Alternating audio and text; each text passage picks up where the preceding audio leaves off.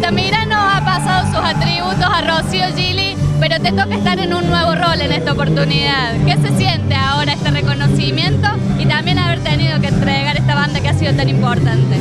Bueno, la verdad que no me lo esperaba, así que fue una sorpresa muy grande y muy linda. Eh, vamos a seguir representando a Luque junto a Rocío, la verdad muy feliz por, por esta decisión y el, del jurado las cuatro son muy bonitas y sé que van a dar lo mejor por Luque. Camila, y bueno, el hecho de esto de ser delegada, ¿qué responsabilidades nuevas se suman? Porque ya igual, de todos modos, tuviste mucho trabajo en esto. Bueno, yo creo que voy a guiar a Rocío.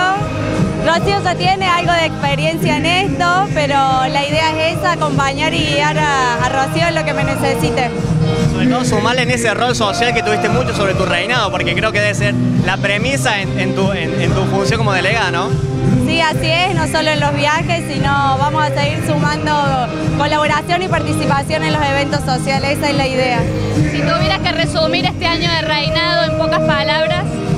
Eh, feliz y agradecida, no me salen más que palabras de agradecimiento, los nervios, por ahí se olvida de la mitad de los agradecimientos que querría hacer, pero a Luca en general un gracias inmenso, inmenso, es un año que no me lo voy a olvidar nunca.